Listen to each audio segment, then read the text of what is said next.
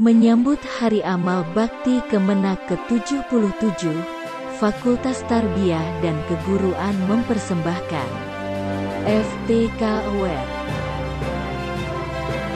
Kategori program studi berprestasi, nominasinya adalah Tadris Ilmu Pengetahuan Alam. Pendidikan Kimia Pendidikan Bahasa Inggris.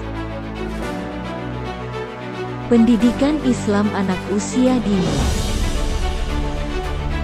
Bimbingan Konseling Pendidikan Islam